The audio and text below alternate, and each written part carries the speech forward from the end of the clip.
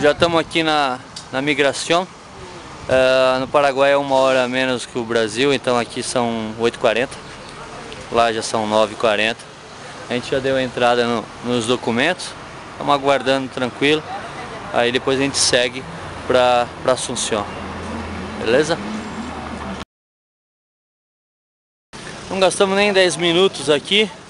Já estamos com o permisso para entrar é só entregue para o condutor do, do, do veículo esse permisso para rodar.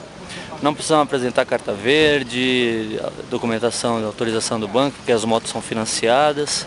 É, ligar a moto e la carreteira.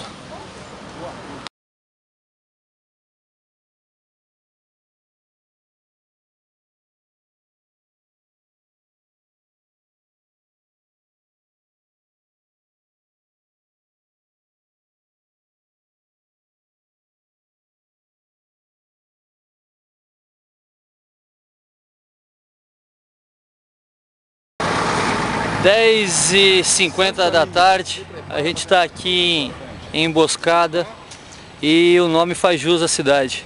A gente estava a 40 por hora, pararam a gente assim que a gente entrou na cidade, levaram a gente lá para dentro com os documentos da moto apreendidos e queriam um milhão e meio de multa, porque a gente estava a 60 por hora.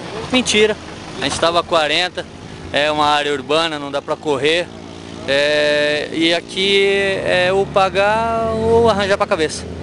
Então, uh, Jeová pagou 200 mil, eu paguei 200 mil, Santana pagou 500 mil. E todo mundo está feliz, foi dado um único recibo pra gente e vamos seguir viagem. A gente tem 70, 60 quilômetros ainda até, até lá.